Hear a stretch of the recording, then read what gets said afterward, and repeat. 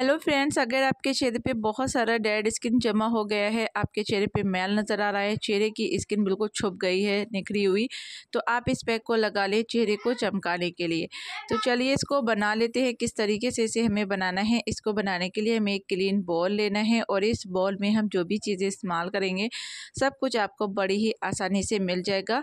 चेहरा एकदम से साफ़ होगा, चेहरे पर चमक भी आएगी और चेहरे की मैल साफ़ हो जाएगी। तो इसको बनाने के लिए हमें लेना है एक से दो चम्मच के करीब ग्रेम फ्लोर, जिसको हम चने का आटा बोलते हैं, बेसन बोलते हैं, पकौड़ी वगैरह कड़ी वगैरह आपके घर में बनती होगी। तो वही बेसन आपको लेना है और उसमें दो चम्मच भर के आपको डालना है इसमें गुलाब जल। तो इसमें हमें दो चम्मच भर के गुलाब जल डाल लेना है। गुलाब जल बहुत ही अच्छा टोनर होता है हमारी स्किन के लिए। साथ ही इसमें एक चम्मच भर के हम दही डाल लेंगे और तीनों चीज़ों को अच्छी तरह से मिला लेंगे। दही में क्या होता है, भरपूर मात्रा में लैक्टिक एसिड होता है, जो स्किन वाइटनिंग करता है, यानी कि स्किन को साफ़ करता है। और बेसन जो है हमारी स्किन से सारी डेड स्किन निकालने में काफ़ी हेल्प करती है। तीनों ही चीज़ें बहुत अच्छा फ़ायदा देंगी हमारी स्किन को।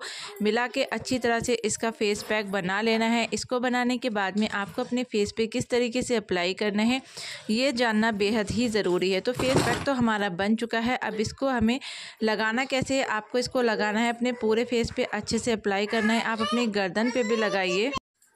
तो फ्रेंड्स, गर्दन को बिल्कुल भी अवॉइड मत कीजिए। आप गर्दन पे भी लगाइए, चेहरे पे भी लगाइए। लगा के आपको 20 से 25 मिनट के लिए रखना है और उसके बाद में इसको सादे पानी से धोकर हटा देना है। हटाने के बाद में आप देखेंगे आपकी चेहरे की चमक बढ़ गई है। चेहरा एकदम से सॉफ्ट हो गई है उसकी स्किन और स्किन में ग्लो आएगा। चेहरे से मैल भी साफ़ हो जाएगा। आप इसको रोज़ाना यूज़ कर सकती हैं। आप सात दिन कीजिए और रिज़ल्ट देखिए कमाल के होंगे।